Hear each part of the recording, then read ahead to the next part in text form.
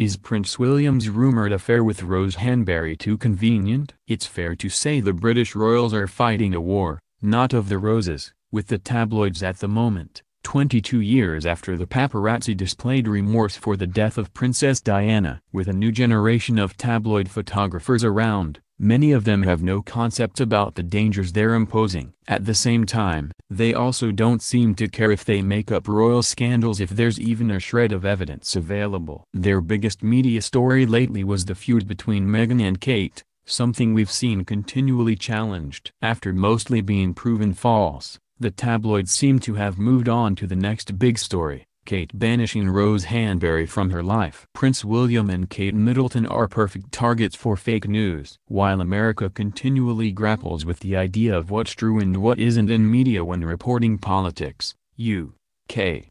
Stories of royal feuding and philandering seem like child's play in comparison. A willing public there and here are still willing to gobble up the prospects of Kate and Meghan not getting along with one another. Once the news came out about Kate shunning Rose Hanbury from her inner circle, all hell broke loose on the possibility it was due to William having an affair with Rose.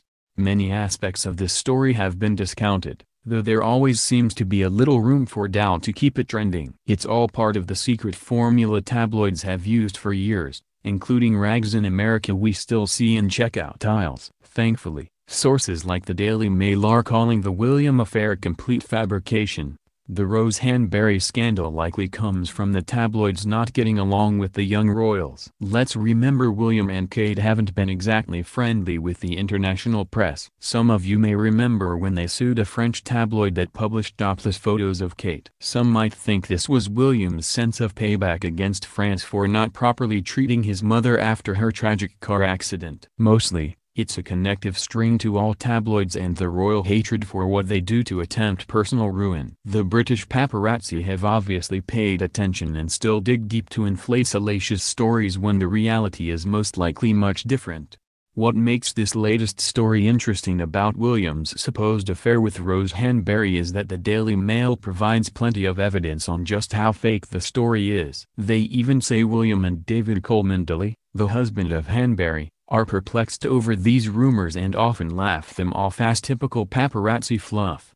Will there be a new lawsuit? The younger royals haven't sued the British press yet for an untrue story. Nevertheless, there is a precedent for it. The Queen sued the Sun a couple of times years back for leaking copyrighted information in advance. Princess Diana also sued for invasion of privacy and received compensation for legal costs, plus a donation to one of her charities. Unfortunately, there hasn't been a law in Britain until recent years where you can successfully sue a tabloid for lack of privacy. Now you can, leaving it open to the royals going after the tabloids viciously if they think their privacy has ever been breached. As this William and Rose Hanbury story continues to permeate, we wonder if William and Kate will sue the British tabloids breaking the story.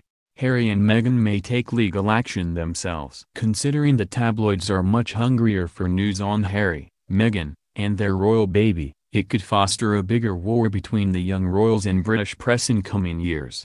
We all know about the Wars of the Roses in Britain's past. In 21st century terms, it may be the war of privacy as the newly evolved royals try to shut down a British press with no sense of ethics or comprehension of the tragic outcomes they could end up creating again.